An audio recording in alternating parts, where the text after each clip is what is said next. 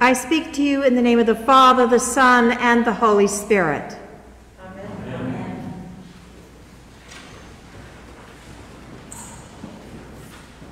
You don't need me to tell you that these are not easy times that we live in.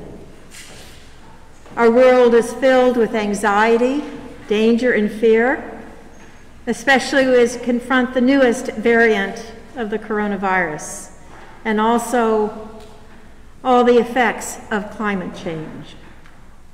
We grow weary of all these problems we are faced with, often losing hope that things can be different. We all could use a few miracles about now. C.S. Lewis writes about God's grand miracle. When Jesus came to us in the form of a tiny newborn, the Christ child becoming like us so that we might become like him. Since that first Christmas in Bethlehem so long ago, miracles continue to happen. God showing up in places we least expect. It was Christmas Eve in 1914, in the freezing trenches along the Western Front in Europe. The fighting had been underway for only a few months, enough time for the grim reality to set in that this would be a long and costly war. The soldiers, German, British, French, Belgium, all endured a miserable existence in the trenches, mired in freezing mud with inadequate supplies and equipment. The winter of 1914 was especially hard, which made it all the more horrific. At dusk on Christmas Eve, without warning, the British soldiers heard faint voices from across no man's land, that interval of space between the warring trenches. This corridor ran for miles between the trenches and was sometimes as narrow as 30 yards. This allowed for soldiers to easily call out to each other, usually exchanging insults. However, on this Christmas Eve, something different was about to happen. As the voices got louder, it was clear that the Germans were singing Christmas carols. A few of the British soldiers began singing carols of their own.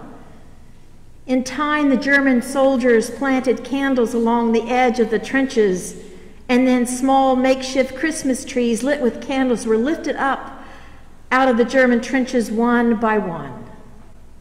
Before long, a few brave souls stood up on each side and made their way to no man's land.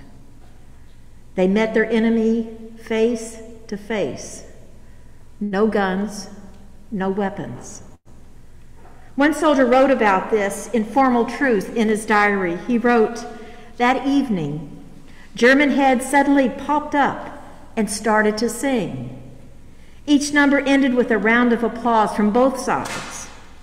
The Germans then asked the British to join in. At this point, one very mean spirited British soldier shouted, We'd rather die than sing German. To which a German joked aloud, It would kill us if you did. As Christmas Day dawned, the soldiers rose early and many returned to no man's land. They talked, shook hands, traded food, tobacco, other items that had been sent from home.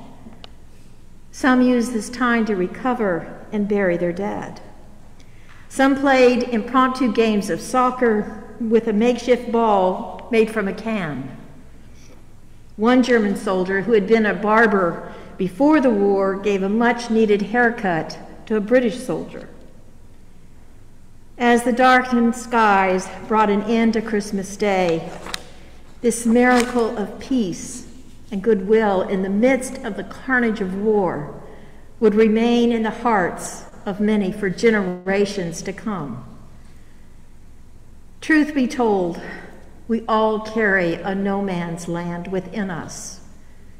Each one of us here tonight is fighting our own battle of some kind, whether it is dealing with a devastating loss, a fractured marriage, deep regret, a serious illness, financial woes, or bitter disappointments, no matter what it is, be assured that no one is exempt.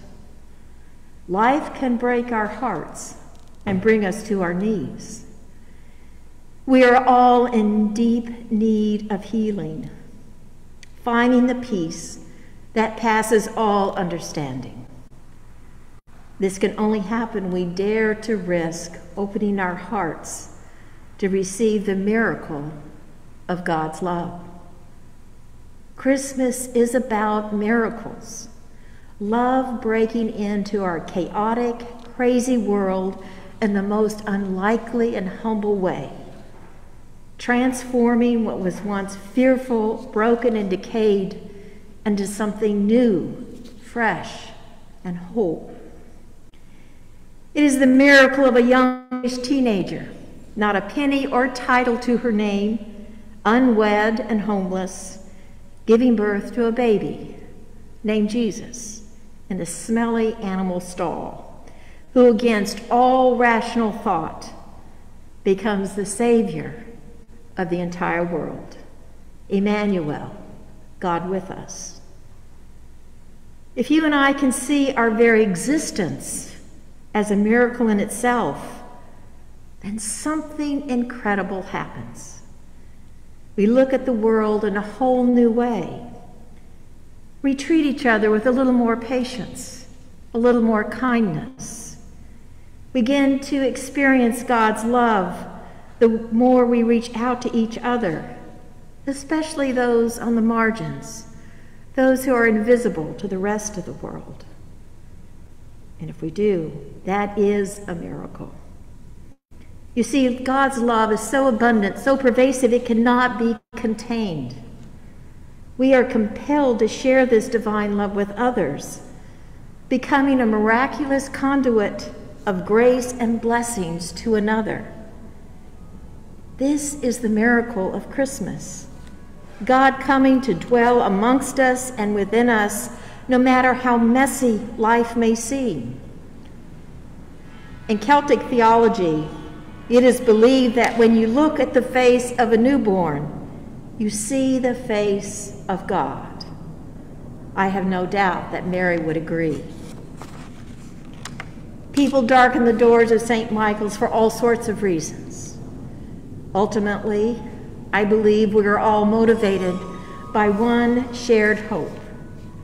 We hope for the miracle of love in our lives, love that heals our soul fills our heart and give our lives meaning and purpose.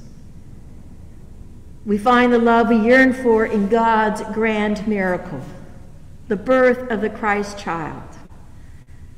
The soldiers on the Western Front found this miracle of love when no man's land was transformed into holy ground where they greeted each other as brothers, not enemies. Tonight, you and I find this miracle of love born within us as we come together to celebrate the nativity of our Lord on this holy night. But this is only the beginning. Before you leave this sacred place tonight, I invite you to pray to be a miracle of love to someone else. Not on just this day, but every day.